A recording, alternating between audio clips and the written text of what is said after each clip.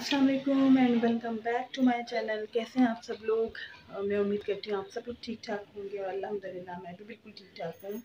और जी, ये है जी आज संडे की मॉर्निंग और मैं अभी उठ गई हूँ और बाकी अभी सब लोग जो हैं वो रूम्स में ही हैं। कुछ जाग रहे हैं, कुछ सो रहे हैं तो संडे को मैं इतना जल्दी नहीं उठाती सबको क्योंकि रेगुलर तो ज़ाहिर है जल्दी सब कुछ होता है, लेकिन संडे को मैं थोड़ा सा खुद रिलैक्स होती हूँ। तो जी, आज है संडे का दिन तो मैंने सोचा क्यों ना आपसे संडे की रूटीन शेयर की जाए कि संडे का डे मैं कैसे गुजारती हूँ, बच्चों के साथ क्या क्या काम होते हैं और तो बस मैं फ़्रेश होके और इधर किचन में आती हूँ और ब्रेकफास्ट की तैयारी के लिए तो आज मैंने सोचा पराठे बना लिए जाएँ तो उसके लिए मैं आटा जो है वो उसको गूँधूँगी और उसके बाद फिर देखते हैं, बच्चों को उठाती हूँ, सबको उठाती हूँ, जब लोग उठ जाएँगे तो फिर मैं जाके रेडी करूँगी, ठीक है? तो आप लोग रहें मेरे साथ आज के दिन और देखें आज की मेरी रूटीन कैसी होती है। और जो जो लोग फ़र्स्ट टाइम आज मेरे चैनल पे आए हैं, मुझे देख रहे हैं तो प्लीज़ मेरे चैनल को सब्सक्राइब कर दें और शेयर कर दें। और वीडियो चाहे पसंद आए ना आए इसको लाइक ज़रूर प्लीज़ कर दें। आपका कुछ नहीं जाएगा तो और सब्सक्राइब ज़रूर कर दें प्लीज़ थैंक यू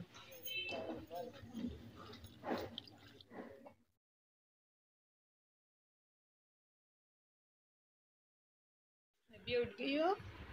कलमा पढ़ा? कलमा पढ़ो? कलमा पढ़ लिया।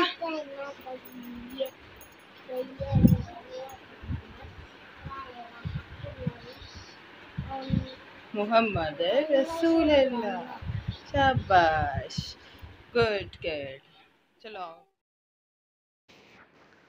तो जी, बस यहाँ पे मैंने ये ब्रेकफास्ट जो है, बनाना स्टार्ट कर दिया था बच्चों को उठा के, सबको उठा के। और अब सब उठ गए थे तो बस संडे के दिन यही होता है कि इतना मुझे जल्दी नहीं होती। और इजीली जो है आराम आराम से मैं सारे काम कर लेती हूँ। मतलब मॉर्निंग में मुझे इतना नहीं होता कि जल्दी जल्दी हो सारा, ज़रा थोड़ा सा रिलैक्स ही होते हैं। बाकी बाकी जो वीक डेज़ होते हैं, उसमें मुझे होता है सारे काम जो है जल्दी जल्दी से ख़त्म हो जाएँ। लेकिन संडे को ज़रा मैं रिलैक्स ही होती हूँ। तो बस यहाँ पे नाश्ता डन हो गया था और अब किचन में आके मैंने किचन साफ़ कर लिया था। हाँ जी, यहाँ पे बस सब बर्तन वर्तन सब वॉश हो गए हैं और मैं अपना गैस ओवन जो है, उसको मैं साफ़ कर रही हूँ। देखिए, ये तो हर वक्त का डेली का क्या, बल्कि ये हर वक्त का यही काम होता है इसको। मैं फ़ौर से पहले ही साफ़ कर लेती हूँ। ठीक है तो बस। और, वीक में दो दफ़ा कम अज़ कम मैं इसको जो है, डिटेल इसकी क्लीनिंग करती हूँ। तो उससे फिर ये साफ़ सुथरा रहता है। तो ज़्यादा गंद नहीं इसमें भी पड़ता, क्योंकि डेली तो हर वक्त उसकी होती ही है। जहाँ मैं कुछ बना के फारिग होती हूँ खाना वाना, जो भी कुछ कुकिंग वगैरह करके तो उसके बाद मैं फ़ौर से साफ़ कर लेती हूँ। और मॉर्निंग टाइम में ब्रेकफास्ट के बाद जब क्लीनिंग होती है किचन की उस वक्त तो मस्ट होता है। और फिर वीक में दो दफ़ा और मैं इसकी क्लीनिंग अच्छी सी कर लेती हूँ। तो अल्लाह का शुक्र है अभी तक ये साफ़ सुथरा ही है, इसमें इतनी गंद नहीं इसमें होता। तो बस, क्योंकि सफ़ाई बहुत ज़रूरी होती है काम के साथ साथ। सफ़ाई का होना भी बहुत ज़्यादा ज़रूरी होता है। काम में भी उसी टाइम पे मज़ा आता है, जब सफ़ाई भी होती रहे साथ साथ। क्योंकि गंदी जगह पे और कोई चीज़ गंदी हो रही है, उसमें काम करने में बिल्कुल भी मुझे मज़ा नहीं आता। तो जहाँ भी थोड़ा बहुत एकदम ख़राब होता ही हो इसको मैं फ़ौरन साफ़ कर लेती हूँ। ये अभी कुछ दिन ही हुए, इसको मैंने डीप इसकी क्लीनिंग की थी तो आज मैंने बस इसको ऊपर ऊपर से ही अच्छी तरीके से साफ़ कर लिया अब एक दो दिन में फिर मैं इसको डीप क्लीनिंग करूँगी। ठीक है।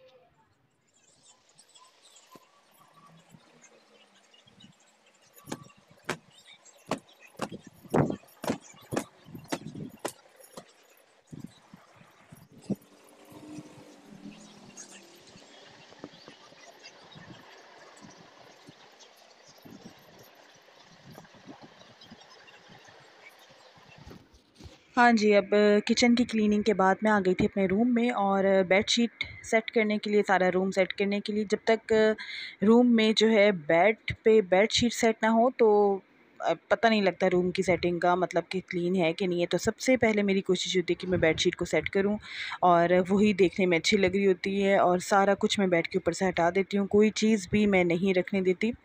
और बच्चों को भी कह देती हूँ कि बैठना है तो अपने आराम से बैठना है बेड शीट को ख़राब नहीं करना। जब उतरना है तो उसको ठीक करना है, लेकिन बच्चे तो बच्चे ही होते हैं, वो कहाँ कर सकते हैं? तो मेरा ही काम होता है हर वक्त बेड शीट को सेट करते रहना, इधर आके मैंने ड्रेसिंग टेबल अपना साफ़ कर लिया।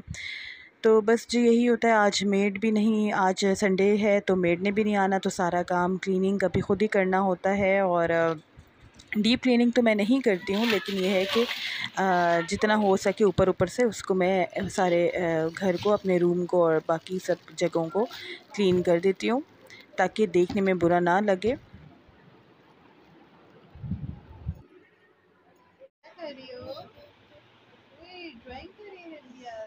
क्या बनाए पास कलरिंग कलरिंग कर ग्रेट अच्छी कलरिंग की है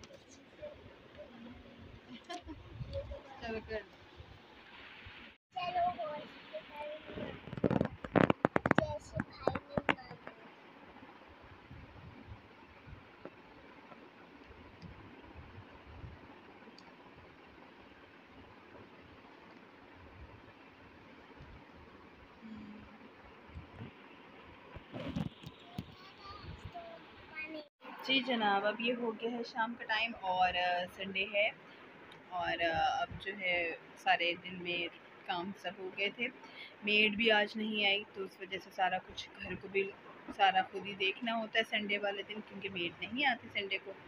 उनका ऑफ़ होता है सबको सबके घर में यही होता होगा, सबने खुद ही करना होता है। तो बस फिर उसके बाद लंच वगैरह मैं नहीं करती, बच्चों को दे देती हूँ और अपनी मदर इन लॉ को दे देती हूँ, लेकिन खुद नहीं मैं लंच वगैरह करती। तो थोड़ा बहुत भूख लगती है तो कुछ खा लेती हूँ चाय के साथ या कुछ भी हो छोटा मोटा प्रॉपर लंच मतलब नहीं करती मैं। और बस अब जो है अहमद को होमवर्क वगैरह करवाना है। मैं बच्चों के साथ ही बैठी हूँ अभी यहाँ पे। असर का टाइम हो गया है। अब होमवर्क वगैरह करवाना है बच्चों को। बच्चों को क्या? अहमद को अहमद ही भी स्कूल जाते हैं। अभी रबिया नहीं जाती तो ये इनको अभी होमवर्क करवाना है। और वैसे ही अब तो फिर से ऑफ़ हो गए हैं स्कूल तो अब ऑनलाइन क्लासेस हैं। उनको लेके चलना है।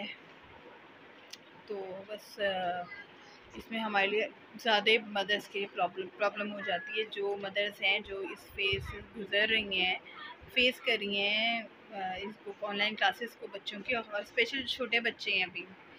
मीन्स के वन टू क्लास में। थ्री क्लास तक मतलब जो अभी अपना प्रॉपरली खुद बैठ के नहीं कर सकते हैं, उनके लिए मदर्स की बहुत ज़्यादा एफ़र्ट है, बहुत ज़्यादा एफ़र्ट लग रही है। तो अब क्या कर सकते हैं, अब सिचुएशन से कुछ ऐसी हैं। तो बार बार कोरोना आता है, फिर चला जाता है, फिर आता है, फिर चला जाता है, बच्चे स्कूल में जो है वो प्रॉपर जा ही नहीं रहे।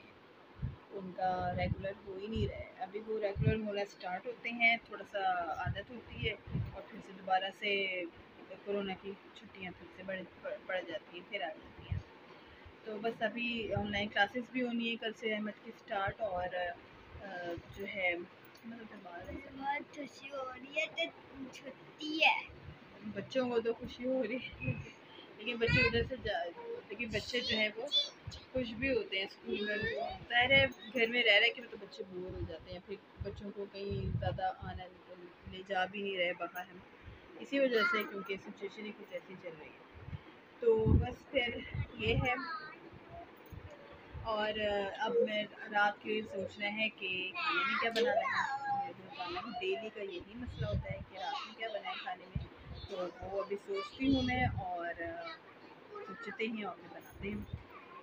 ठीक है इनशाला तो मैं मिलूँगी थोड़ी देर बाद आपसे। तो जी, यहाँ पे मैं किचन में आ गई थी और डिसाइड हुआ था कि मटन जो है, मटन स्टू बनाना है।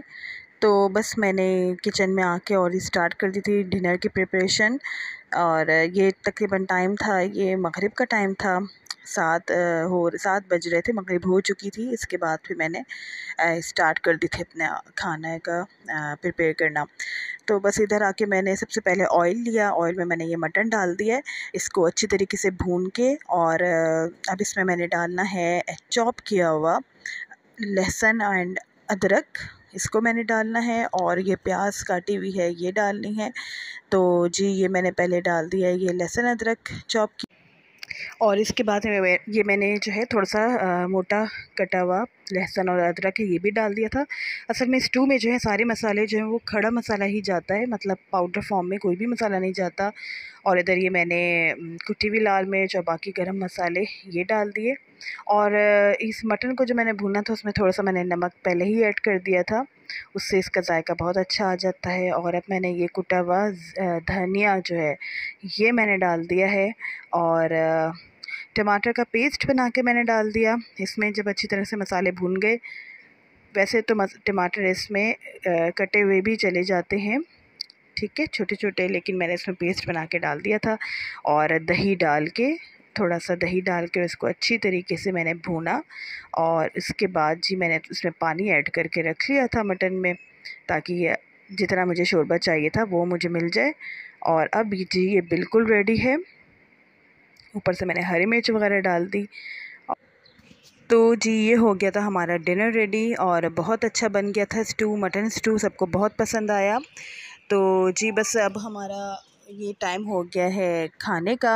डिनर टाइम और मैं सबको बुला रही थी, सब लगा के खाना सबको बुला रही थी। तो जी, आज मैंने जो है शेयर किया आप लोगों के साथ अपने संडे रूटीन कि मेरा पूरा दिन मेरा संडे का कैसे गुजरा अपने बच्चों के साथ और क्या क्या मैंने काम किए। तो अगर आपको पसंद आए तो प्लीज़ ज़रूर लाइक कर दें और सब्सक्राइब कर दें चैनल को। ओके, अपना रखें बहुत सारा ख्याल। मुझे भी रखो, रखें दुआओं में याद। अल्लाह